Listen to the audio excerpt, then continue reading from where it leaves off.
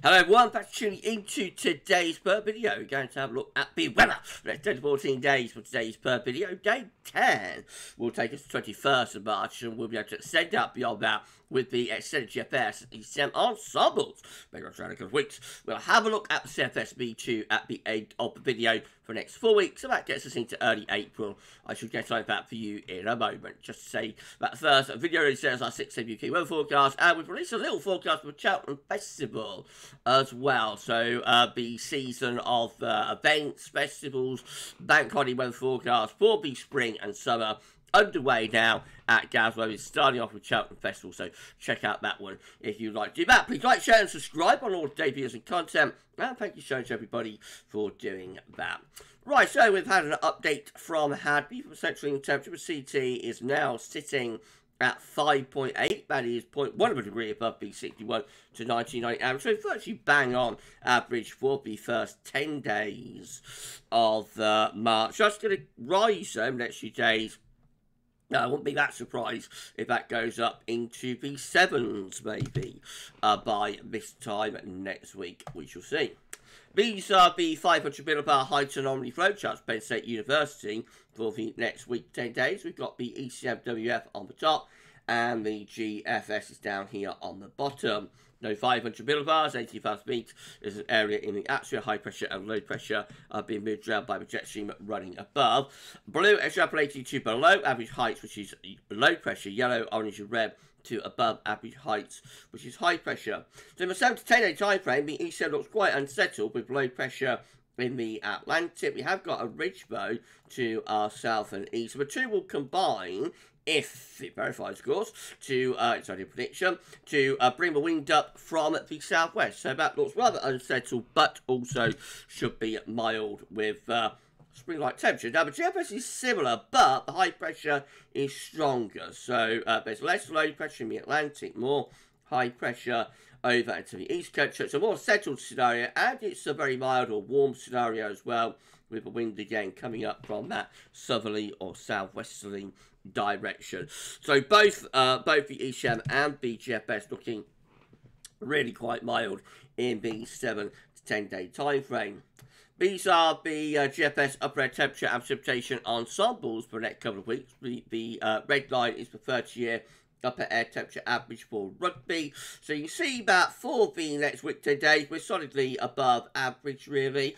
I'll start off a little bit on the cool side at the moment, of course, but solidly above average generally as we're pushing out to about the 20th, 21st of March around day 10. But I've got a bit of a reduction in the upper air temperatures, albeit with a lot of scatter, though as we go into the final week of uh, March. We've got the Violin ensemble members up here, colder on ensemble members down there. Um, no, quite uncertain, you know, as always, when we get beyond uh, 10 days out. But certainly next week, 10 days looking really quite mild. Also, more precipitation to come. That doesn't, uh, never rains, does it? So, got a drier slot at the moment, but things will be turning wet again tomorrow to Wednesday. Then the second half of the week going a bit drier. And through the weekend into next week, it looks quite unsettled with further rainfall spikes. Temperature anomaly should be 11th to 19th of March. We're coming out above average. It's going to be a mild average week to come across most parts of Europe, actually. Precipitation anomalies from the 11th to 19th of March. So, western average in the north and west, a little bit drier than average more southern and eastern regions. Latest ripple of that from earth.nullschool.net shows that we're losing the easterly now. So we had a very chilling weekend, didn't we, with those easterly winds. And yesterday, wasn't it atrocious? Yesterday, all that rain and cold winds. Anyway, that low brought the rain. Yes, it's moving off into the low countries now and Germany. And uh, we actually still just about making it into the country. But actually, it's the southwesterlies that are waiting in the wings with these areas of low pressure in the Atlantic. And they're going to be pushing in milder air in uh, the next 24 hours or so. But, of course, also be pushing uh, more rain. Right, let's go for chart data then. Let's have a UK Met Euro is looking midnight on Thursday. So low pressure to our north, low pressure to our west, looking rather unsettled again. This low moves in into Friday, probably bring further outbreaks of rain. Into a weekend, the start of next week, stays unsettled too. Low pressure never far away. And just a bit of a hint by the very end of the UK Met Euro run that we might be starting to the wind into a rather cooler northwesterly uh, then. I can't again with that area of low pressure to the north and also more areas of low pressure in the Atlantic to our west. They all sort of get together and bring an unsettled spell for the second half of the week into the weekend.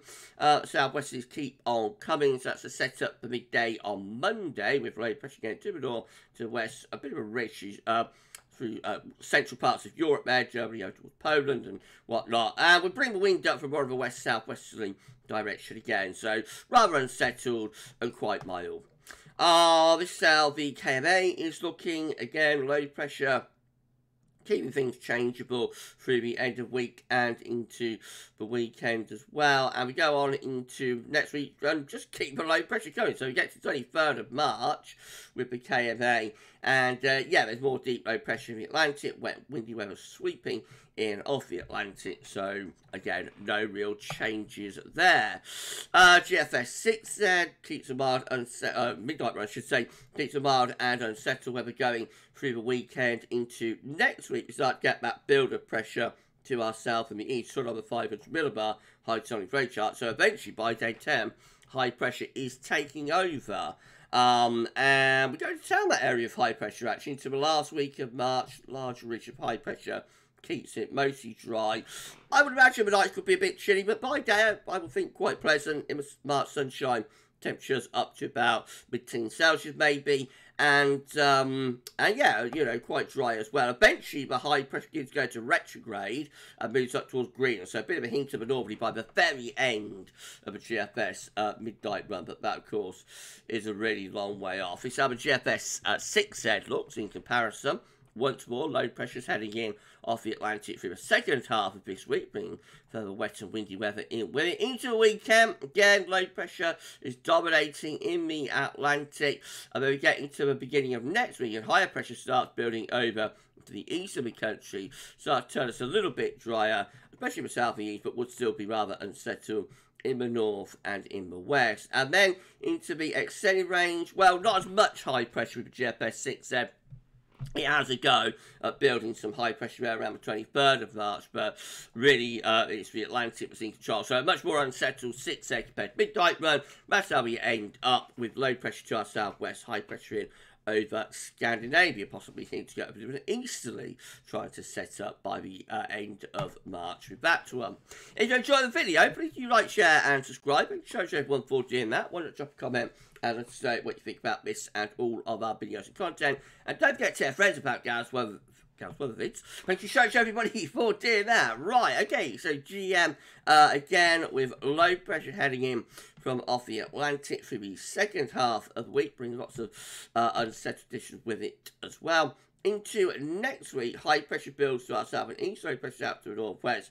Uh, we start to drag up this southerly southwest, but stays unsettled uh, with this area of low pressure bringing some very wet weather potentially through the beginning of uh, next week. Eventually, start to turn colder as well with the GEM. Uh, by around days 9 and 10, start to push below pressure to the east and bring down more of a north northwesterly there uh, by uh, sort of days 9 and 10. So unsettled and eventually finishing up quite cold with the gem. Oh dear. And they've got the ECM looking like this. Again, uh, low pressure is um, in the ascendancy, is in control through the last stage of the week into the weekend, but areas of low pressure keep on coming on into next week. Yes, those areas of low pressure carry on driving in. That's set up by day 10, which is the 21st of March.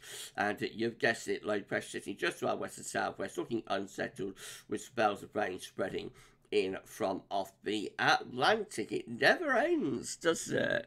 Never ends. This is my precipitation forecast based on that ECM run from TibetShow.com. Oh, uh, more wet weather will be pushing in during the course of tomorrow and particularly across England and Wales, and then further unsettled dishes to the north and the west in the second half of the week, perhaps a bit drier in the south and east a while, into the weekend, and yes, low pressure piling in off the Atlantic, bringing further bouts of heavy rain in with it, oh dear. Um, then we get a drier interlude for a couple of days early next week, but uh, low pressure never far away, and the rain never far away either. So uh, by day 10, looking very wet to the north and the west. BW up top table within the ECM ensemble today four day 10. Gets us 21st of March. We understand it Met Office. 24 members of the ECM ensembles including control and the operation run, unsettled, low pressure, uh, dominating from the Atlantic. 11 with uh, low pressure to our southwest, and that could well be bringing further unsettled conditions in with it too. Nine, a little bit more like the GFS, rather more anticyclonic, so this is the most settled option. Um, still quite mild with that option, would be bringing up the wind from the south, but uh, um, that's the most settled option. But uh, I think generally, you know, if you put the 18 there, which has low pressure close to us, and the 24 here, then the majority option is still to low pressure really at day 10.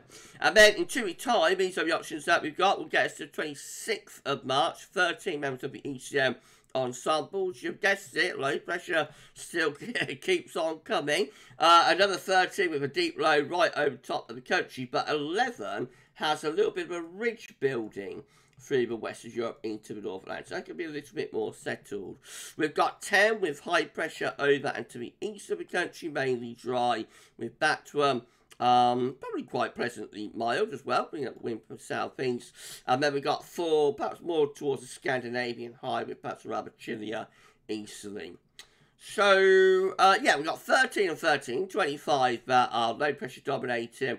And then we've got 11, 10, and 4, which actually gets us to um, 13 again, actually, um, but, uh, but, but more towards high pressure. So about a 50 50 split split between high pressure and low pressure there with the ECM ensembles in two weeks' time. CFSV2, finally, these are 500 millibar high times breaking down into week periods. The first week period takes us from the 11th through to the 17th of March. The next week looking unsettled with below average heights, low pressure heading in from off the Atlantic. Week 2 will be the 18th to 24th of March with high pressure over to the east country mostly dry and should be relatively mild or even quite warm with that as winds come up from south. Week three is going to be 25th to the 31st of March with high pressure to our east and also to our northwest well, low pressure down to the southwest. That will be turned a bit more unsettled to the south and to the west. And then week four rounds it all off is the first through to the 7th of April with low pressure then right over top of the country. And that is in combination with fairly strong blocking around Greenland as well. So perhaps a cold and wet start to April. Oh dear, it's four weeks away, so not really worth worrying about. Okay, we're done. If you've enjoyed the video, please do like, share, and subscribe. Make sure show everyone for doing that. Why don't drop a comment let us know what you think about this and all of our videos and content. And don't get to tell friends about Gav's Weathervids. Don't to subscribe to. Thank you so much everybody for doing that. We only need to put on around 60 subscribers, I think, to get ourselves to 18.1k. So if you could give us a sub and tell your friends and family to subscribe, it would be incredible. And we thank you so much everybody for doing that. Right, just tell us happening on the channel tomorrow. We're going to have 6 M UK weather forecast. We'll have the EC extended uh, look ahead for Europe as well, extended European outlook, and there'll be be a 10 to 14 day too, so please keep checking back to the channel for more. But uh, for this one, and for today's videos, that's all for now, and thanks for watching.